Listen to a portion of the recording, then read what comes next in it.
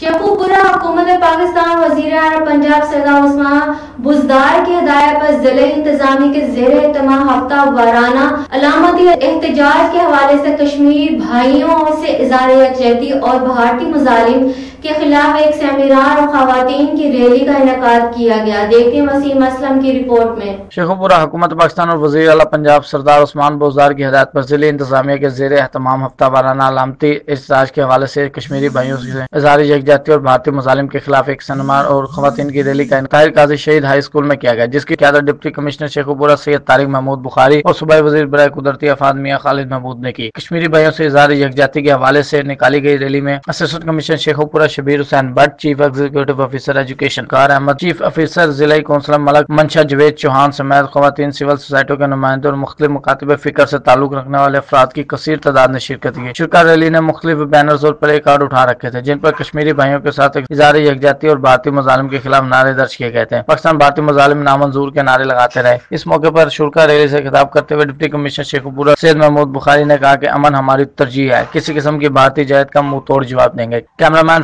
سرور کے ہمراہ وسیم اسلم راز نیوز شیخو پورہ